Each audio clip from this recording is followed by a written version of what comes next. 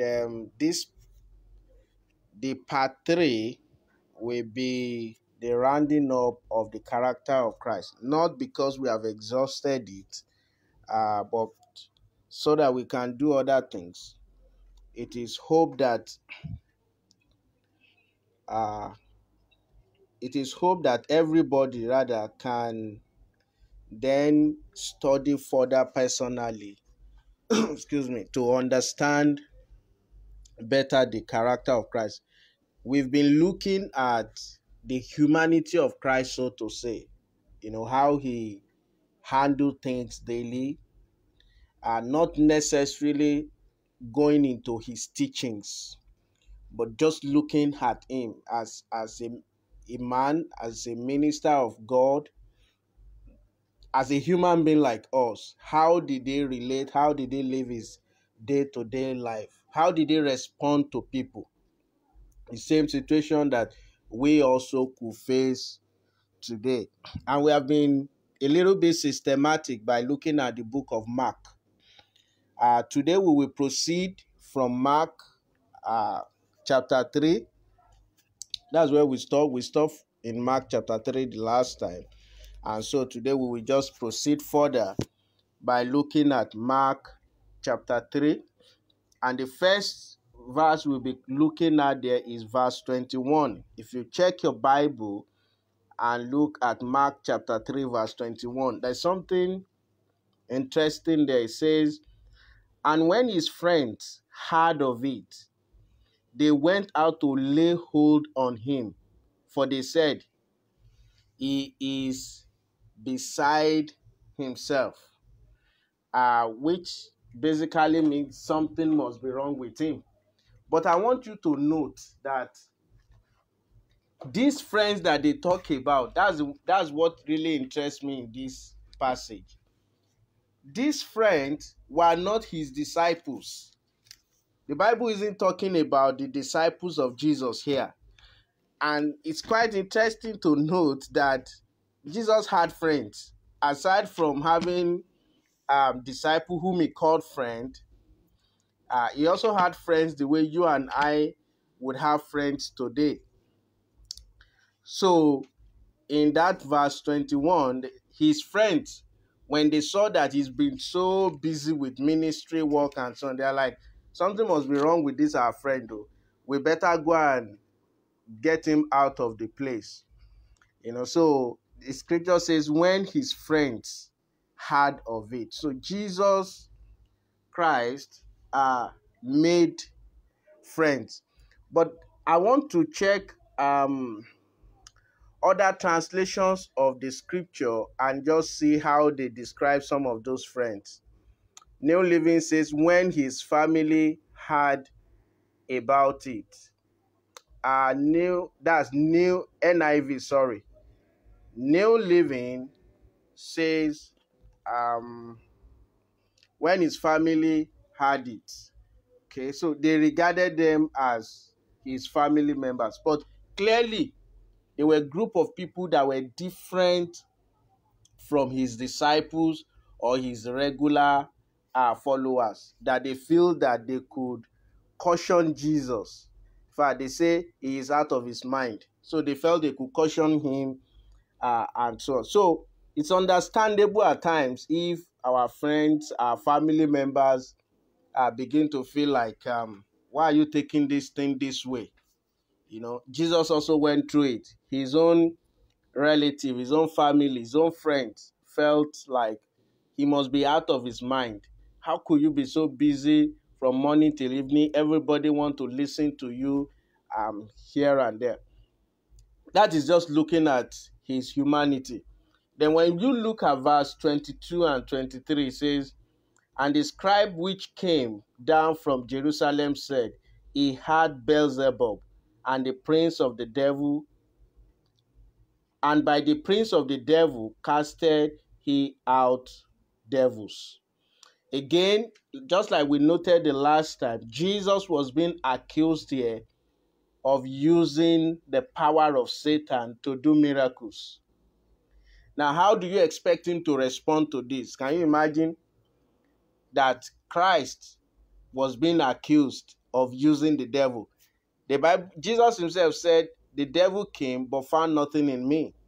There was nothing of the devil in Christ, but they accused him of using the power of the devil. Did he get angry? Did he abuse them? What was his response? Verse 23 And he called them unto him and said unto them in parable, How can Satan cast out Satan? Can you see his response?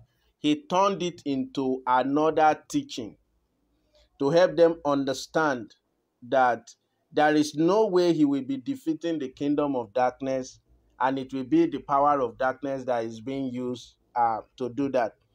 And you know, this is quite fundamental. I remember that when I was much younger, we used to watch some of these local uh, movies that has to do with fetish practices, witches and wizards. But usually they will portray someone to be a good person, but that person also is using the power of Satan. But he is sort of using it to defend people and so on. So they sold that kind of concept to us when we were much younger that there is a good power of Satan. But there's nothing good about Satan. They are all they are all condemned. They are all under the flesh. So Jesus just took the occasion. He didn't get angry um, at people and begin to abuse them and so on. He just took occasion to explain better to anybody who want to understand uh, why their assumption was not correct. So that's another thing we note about him. Then if we move to verse 31, you will again see uh, the role of his family. The Bible said, Then there came his brethren and his mother. So here the King James is using the word brother and mother, and standing without send unto him, calling him. And the multitude sat about him, and they said unto him, Behold, thy mother and thy brethren are without seek for thee. Okay, just to show us again that aside from people who were involved with Christ in ministry, uh, he still had his own family life. He had brothers, he had sisters. Uh, the mother was still on the lookout for him. And even for Jesus on the cross, he still looked out for the mother. He didn't leave Mary to just survive on her own. On the cross, while he was dying, he said to John, John, thy mother. And he said to, the, to Mary, Mary, thy son. And from that moment, um, John, Mary became the responsibility of John. Uh, if we don't pay attention, we may assume that Jesus was just going about ministry and um, didn't pay attention to family. Even though here they actually uh, they felt he's been talking, he's not been eating, he's been so they wanted to call him out. That see, let's talk to you. How, how are you doing this? And it's possible that your family members they may not understand what God is doing with your life and they may get agitated um, out of genuine affection for you. They may get agitated. The same thing also happened to Jesus. So it shouldn't come to us um, as a surprise. But you will always notice that situations that should provoke Jesus to anger, he always use it as an opportunity to teach people lessons about the kingdom of God. And so in verse 33, the scripture says, And he answered them, saying, Who is my mother or my brethren? And he looked around about them, on which on them which sat about him, and said, Behold, my mother and brethren.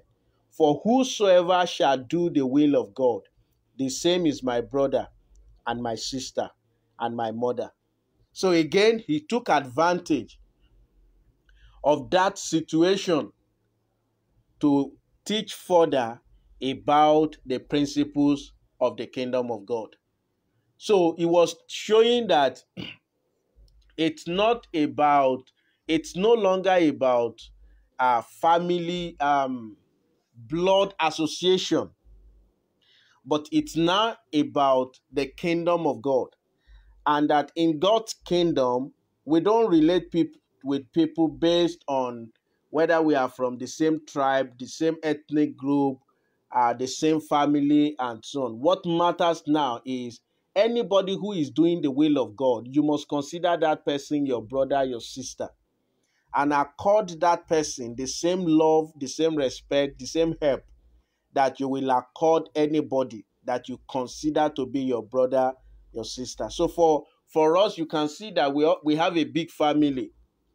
Okay, we have a big family as God's children. As many as are doing the will of God, they belong to the family of God, and we all belong uh, to the same family. All right, so um, then if we go to verse 10, if we go to verse 10 of chapter 4, Mark chapter 4, verse 10, um, we will see again another character of Christ. He says, and when he was alone, now the, the, the, the background story is that Jesus had told them the parable of the sower. Okay, and he was done with that with that parable. So what happened next? The scripture says, And when he was alone, they that were about him with the twelve asked him, asked of him the parable. And he said unto them, Now look at it. He had told a parable, but they met him again privately. And then they asked him again about the parable. And he was patient enough to go through the parable again and then to now provide further details about the parable. Also, note that he did not initiate the explanation of the parable until they asked him. And that means that when we don't understand something about Christ, we must go ahead and ask. He will provide us with the answer you can see that this, you see, even though we can't see Jesus physically today, we often say that he is the same yesterday, today, and forever. But do we truly believe it? In the same way that anytime you look at scripture, you read about uh, Jesus being asked questions and responding. It's in the same way today that if you ask anything, if you read a Bible passage and say, Lord, I don't understand it, do you know He will explain it to you? he will find a way to give you understanding of that scripture. Because if he was physically here, that's what he's going to do. He took his time to explain again to the disciples. He had that kind of patience to explain to them again. He didn't get angry or irritated that where were you when I was talking the other time? You were not paying attention. You know, so he took his time again and he explained. So we also can be rest assured that when we ask him question, uh, Jesus will respond to question. And many of his teachings that we benefit from today were actually product of questions that were asked Jesus, and he responded to them, uh, and then they become a blessing to us today. So, from verse 11, he just went ahead and began to explain to them once again the meaning of the parable. Uh, for those of us who are parents, who are teachers um, at various levels, we must also learn this. We must learn patience in teaching people, in bringing people to the knowledge of Christ. At times, you might say things, you might teach things, you might need to go through it over and over again then you notice that he gave attention to both multitude and few people. Jesus didn't base is, is Jesus isn't this kind of minister of God that he only deals with big multitude and he doesn't like dealing with small groups. So if you invite Jesus to a fellowship of three people to come and preach, he will be there. If you invite him to a fellowship of 300,000, he will be there. He never related to people based on population. So few people came to him, he still responded to them. Just like the story of the woman by the well side. Jesus had just moved from a mighty crusade, but yet he had he gave attention to one single woman. You know, at times, if care is not taken, we are waiting until when we have everybody before we give our best. God judges, God looks at the way we treat one person. Because in reality, the way you treat one person is the way you will treat one million. Because even if you are speaking to one million, you are actually speaking to one person. We must value one single soul. We must not value multitude. Our value of human being must not be based on multitudes, but on, on the value of one single soul. So Jesus could take his own time to talk to an individual and spend time with that person. Did you note that the book of Luke was written to one man? That book was uh, uh what is it called? Luke, Luke's follow-up to uh what is the name? Was writing to one of their uh well-placed king. Let me just check uh Luke chapter Theophilus, yes. He wrote to Theophilus. You know, can you imagine in in Luke's attempt to preach the gospel clearly to one man, he wrote the book of Luke. He told him the entire story of Jesus. We most people feel that the book of Luke actually covers more than any of the gospel, but it was written to only to one man. So you can see their own commitment to souls. Some people are waiting until they have crowd before they can give their best. But for these people, one single soul takes the best out of them. For Jesus, one single soul takes the best out of him. So the entire book of Luke, it always challenges me the dedication that you could write that book just for one man, you know. So I, I, I, you know, I just wonder at times the way we go about the gospel, um, the gospel today, the commitment to the gospel. If the entire book of Luke can be written just to a man for follow up, and he said he's just follow up. He had preached to Theophilus. He said he wants him to know more about the way. And all he will have to write is now the entire account of the life of Christ. It's quite, it's quite challenging. And that's the same way Jesus himself operated. He gave attention to few, he gave attention to multitude. He did not discriminate. He didn't wait until he had um, eyes on him. If you look at Europe today and maybe um, some part of America and so on, most sporting activities, there are no crowd.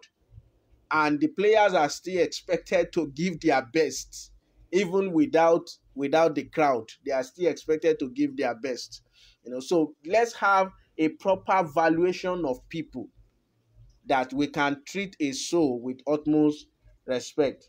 The last um the last thing we will consider today is verse uh, verse 37 verse 37 of Mark chapter 4 as we round up um verse 37 of Mark chapter 4 now that's a familiar story. It says, And there arose a great storm of wind, and the waves beat into the ship, so that it was now full.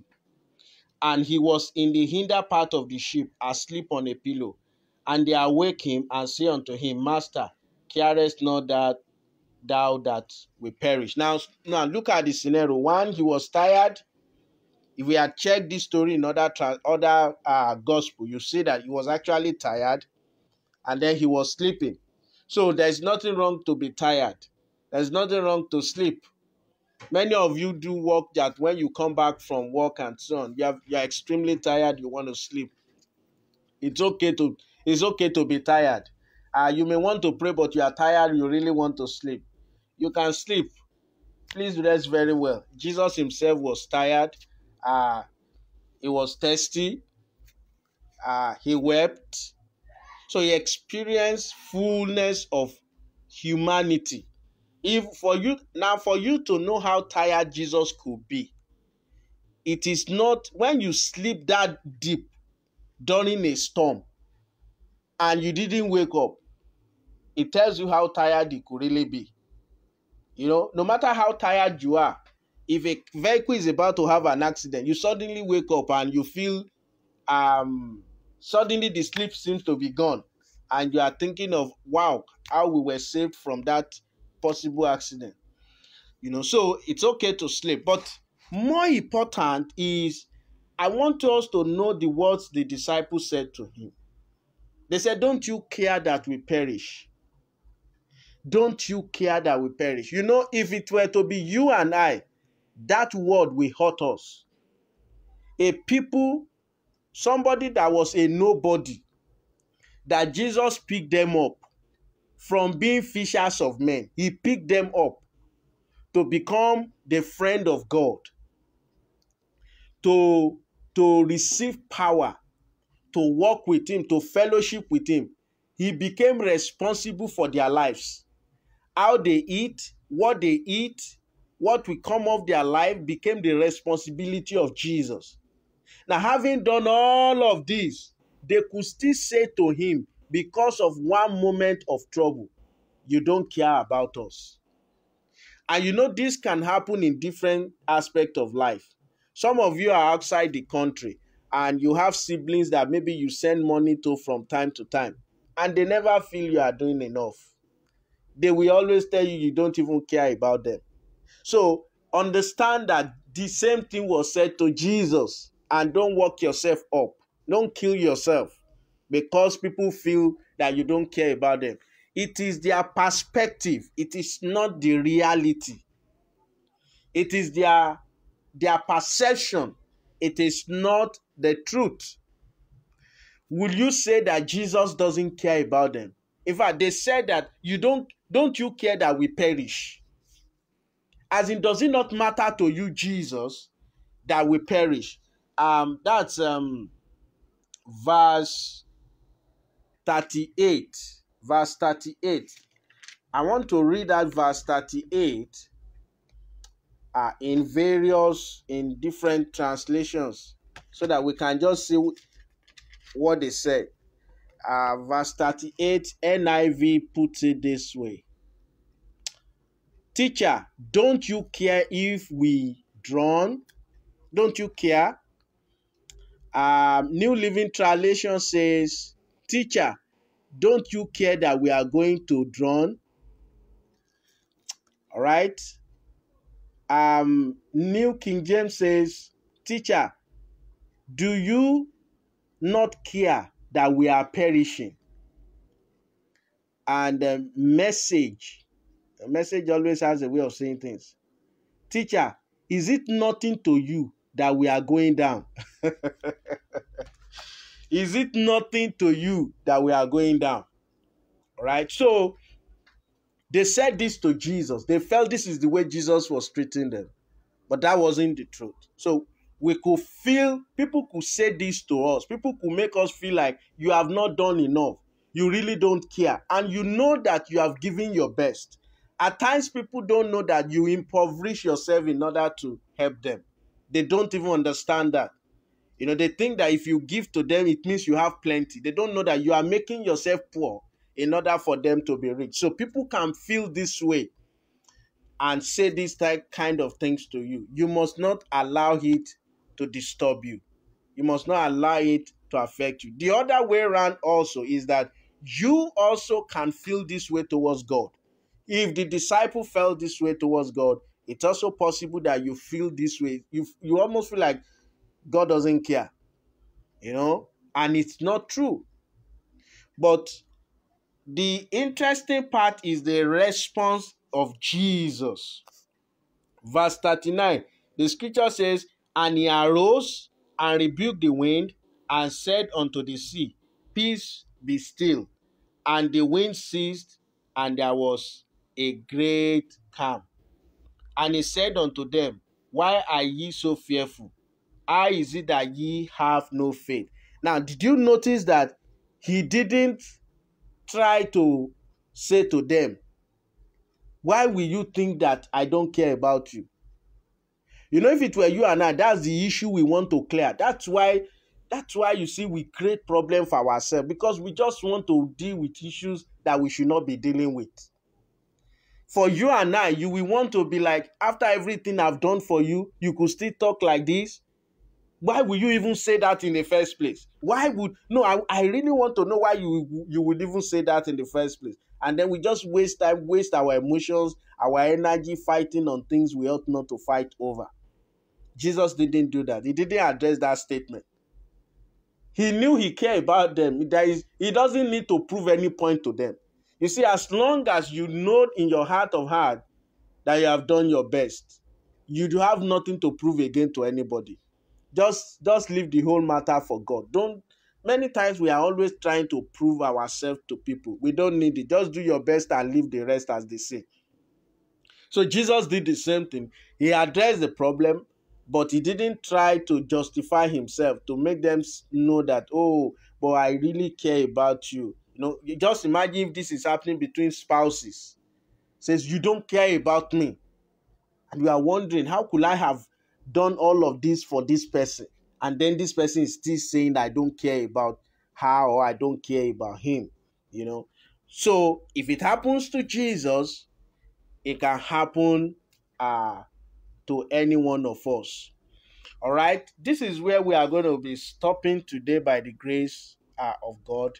We have been looking at the character of Jesus. There are so many things. If if we have time, we could continue uh, the entire book of Mark, and we will keep discovering the humanity of Jesus. So you might take time now that we have set it forth to read through any of the gospel and begin to note key things you know, one of the things that blessed me so much in the life of Jesus is the way he prayed. John chapter 17. That John chapter 17 is classic for prayers. In nobody can pray better than John chapter 17. It was simply a conversation with God. And that is the way Jesus wants us to pray. You know. So I looked at that prayer. I looked at the the context, the the workings of that prayer, the arrangement, how he was going about it. He was just having a conversation with God. Because at times when they say he wakes up in the morning to pray, you are wondering what exactly does Jesus pray about? It's a conversation. We can simply have conversation uh, with God and talk to Him. Then you, I've heard some things that people say very often that that is far from Scripture. I don't know. Maybe you have also heard. They say that prayer is a two-way thing when you talk to God, you listen to Him, He also talk to you. Actually, that's not true. And you won't find any of that even in the life of Jesus. Jesus would pray, and God was not speaking to him at the point of prayer. Even when he said, uh, Father, Father, take this cup away from me, God didn't respond. There was no response at that moment. You know, we talk to God, we, we express our heart. If he says, Your father which seeth in secret will answer you openly. So it means what we have prayed about, it's not immediate that God will be speaking to us. God, of course, can speak to you while you are praying, but it's not often the practice. So just pray your prayer. If you like, you can keep quiet and say you want to hear God. That's not the way God speaks. When you pick your Bible, God will speak to you. God will speak to you. You may be washing clothes, you may be doing chores, you may be doing things, driving and so on, and then God begins to say some certain things to you. It may be things you've prayed for maybe four, three weeks ago, uh, and so on. It could even be something you prayed about in the morning. You know, so as we look at Jesus, He helps us to know how to conduct our lives because He's the standard, He's the only example that God has set for us. So we will stop here today by the grace of God and trust that next time uh, God will be introducing us uh, to another dimension in Christ, to another dimension in His Word. So I feel that we should just spend some time uh, and talk to God, particularly the fact that we are rounding up this topic today, that um, this life, this character, God will cause it to grow also in you. Let's just take some moment to speak to God in whatever way um, that He has spoken to us. God, that God will give us the wisdom to live like Christ lived, to handle situations the way he did, to address issues in our lives the way he did.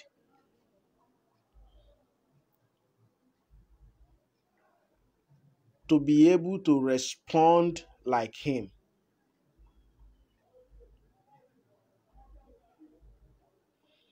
That our life will reflect his character, it will reflect his glory. Many of the things that trouble our heart, if we only see Jesus, they become nothing to us. Many of the things people say to you that get you worked up, you discover that they are said far worse than to Jesus. And he handled it in a way that didn't cause him any trouble. Ask that God will open your eyes further to the character of Jesus. God will reveal his son to you.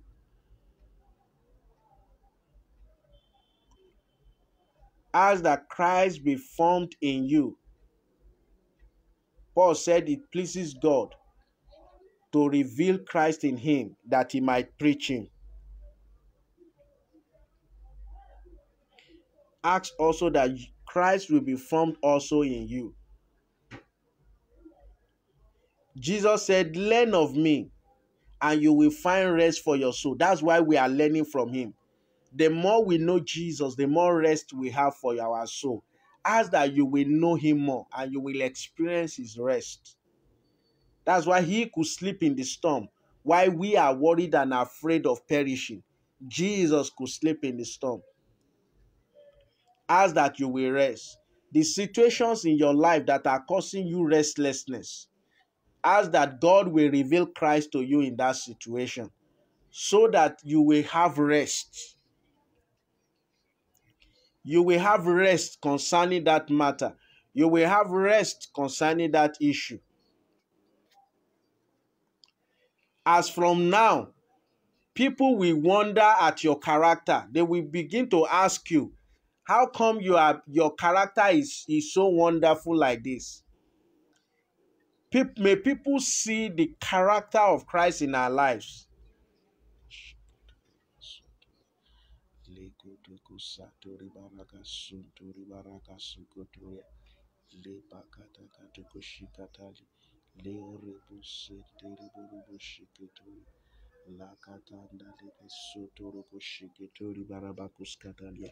Lord, let me not be the preacher of your word alone, but the doer of your word. Paul said that I may know him and the power of his resurrection. All of these brethren, they, they wanted to know him.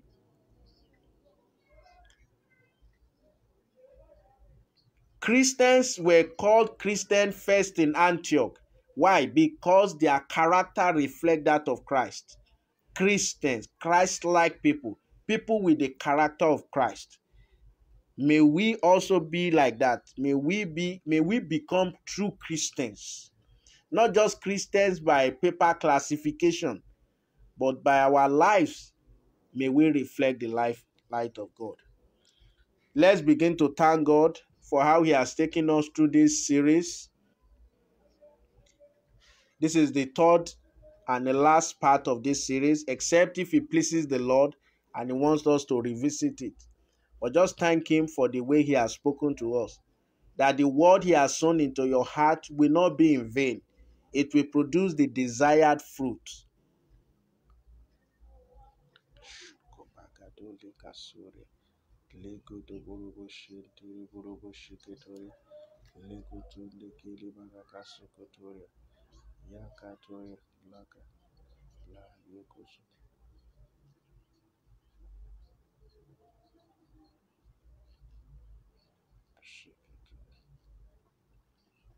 Let's thank Him for His mercy. Let's round up our prayers.